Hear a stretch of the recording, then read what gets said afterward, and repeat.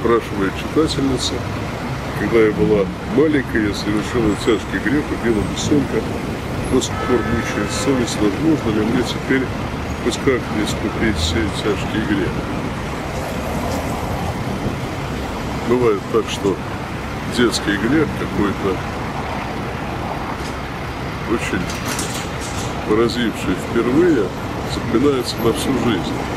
Человек еще не привык к несправедливости окружающего мира, потому что кто-то умирает, кто-то терпит страдания, и вот этот грех, оставшийся в памяти тогда, на всю жизнь влияет. То, что вы его помните очень хорошо, значит, вы чистый человек, не испорченный жизнью человек. Но, конечно, нам Господь этот грех простит или уже простил таинство каяние, высповедь.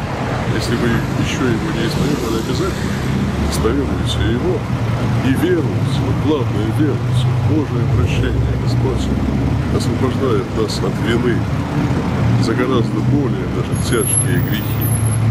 Да, мы убиваем животных, иногда это делается ради нашей пользы, и Господь благословил для пользы человека употреблять животных пищу в том числе. Но бесцельно, а тем более ради жестокости, убивать не нужно даже самую мелкую божию тварь.